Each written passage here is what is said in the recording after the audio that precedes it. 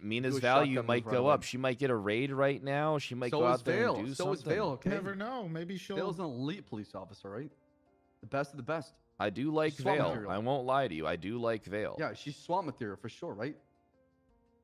And uh, Sheriff, And I the more think think she sh- about it, that the, the, that? the no trade clause definitely has to be off the books because I know for a fact, You for a fact. in- You mean in effect, off the books means Yeah. like No, no, no, no. We got to get rid. We we got to be able to. Excuse Tr- me, sometimes. sorry to bother you. I couldn't help but hear you Oh screaming about how Vale is more elite than I am from out there, and just wanted to let you know you're Uh, screaming. Thank you.